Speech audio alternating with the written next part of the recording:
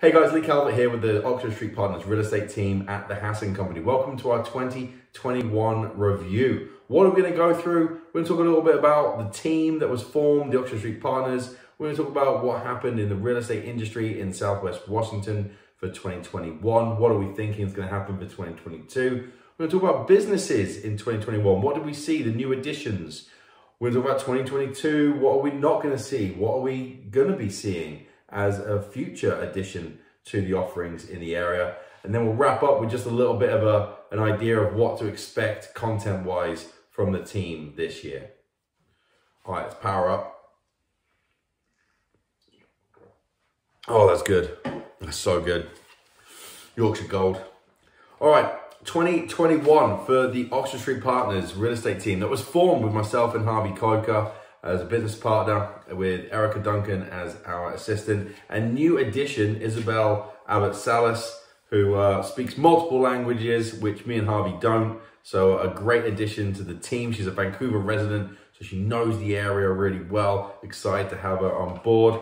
Um, I'm already going off track with the uh, planned itinerary here. Anyway, 2021, what did we see in the uh, real estate market? Well, we actually saw the most sales in Clark County that we've seen for over a decade. I didn't really go that far beyond that. But how do we get most sales when all you're hearing is it's a low inventory market? Well, the inventory is there. It's just getting absorbed by everyone that's trying to move into the area, whether it's in resale or new construction. Um, the sales are there. You just don't see them stay on the market long enough to increase the amount of listings that remain on the market. Now, more information is going to be coming up on the screen statistically, where you can actually see a little bit of comparison between 2021 and the last two years, 2020, 2019. Now, sales outside of residential sales, 355 land sales for Clark County, where people have gone to likely buy the property to build on. Um, there was 135 multifamily sales, that's two to four units, anything more than four units then pushes it into the commercial side. We don't do a lot of commercial work, but we have great partners in that side of the business should you need a good contact. Um, why is it important to look at land and multifamily? A lot of the statistics you see will not include those in there. Uh, the average sale for Clark County in 2021, I was pulling up as $553,990. The average time on the market for 2021 was about 20 days. Now, if you've got, if your property is worth buying, most things actually go within one to four days, but 20 days is going to be including some new construction uh, listings that have a, um, a, a, leading property that leads you in to then go and buy something else, or it includes some those outlying properties out in the distance or luxury properties that really shouldn't be luxury. Uh, speaking of luxury, there was 374 sales over a million dollars in Clark County in 2021. I remember doing this in 2016. I think there was like 70. And so uh, just found incredible to see those numbers. The highest sale in Clark County for 2021, 4.62 million for an eight plus thousand square foot behemoth house in Ridgefield. 4.62 million. And uh, the penthouses down at the Kirkland condominiums at the waterfront, the penthouses are like three to four million.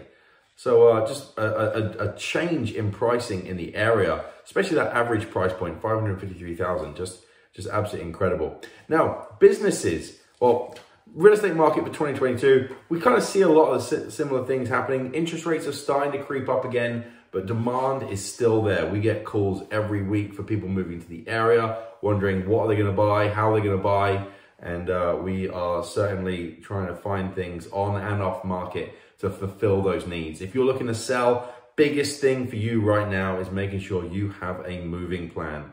Please do not put your house on the market without a plan of where you're going to go. Uh, a number of those came to us last year and um, thankfully we helped them, but man, just plan, just plan, plan, plan. All right, 2021, what do we see come to Clark County?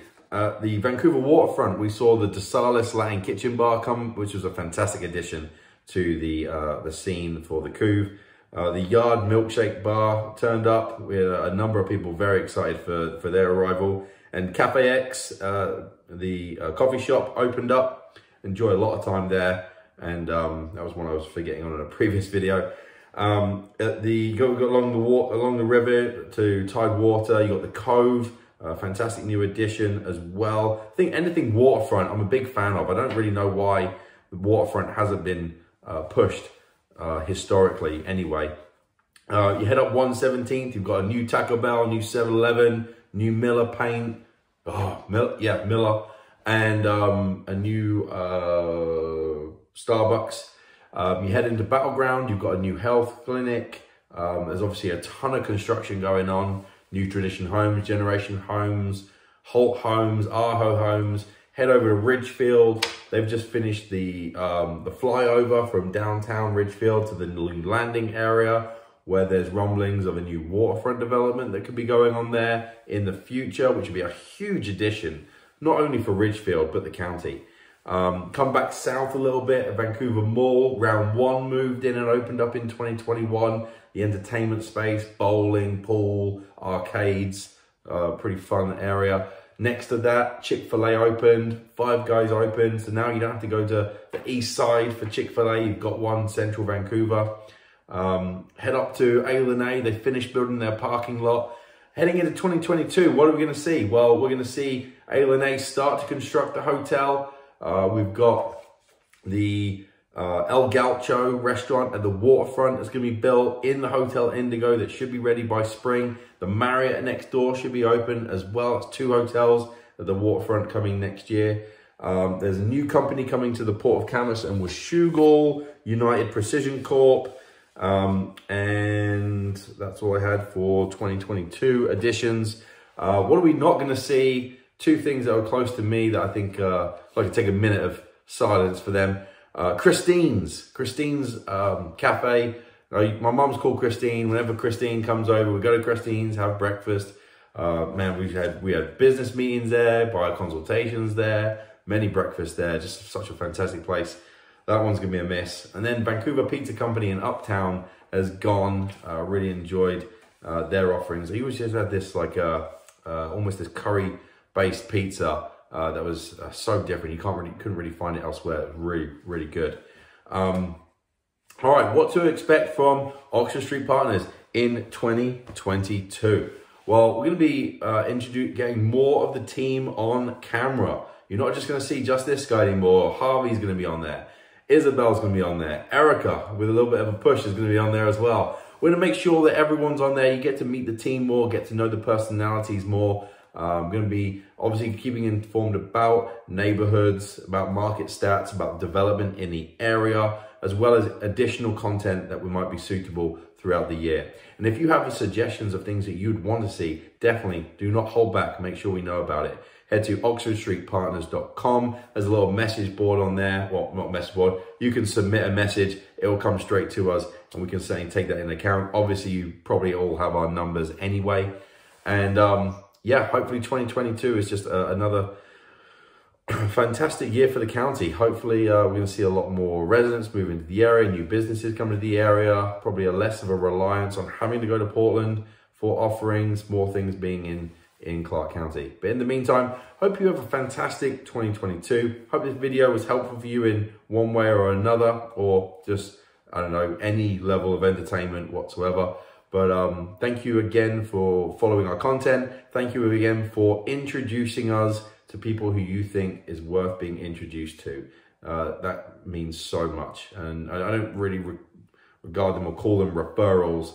We just want introductions um, and uh, just to, you know, hopefully help someone out whenever they feel ready. Anyway, thank you again. See you in February. Take care.